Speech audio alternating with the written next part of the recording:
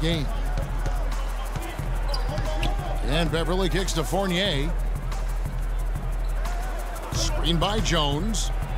Here's the teardrop. And it's going to be out of bounds. The Rockets will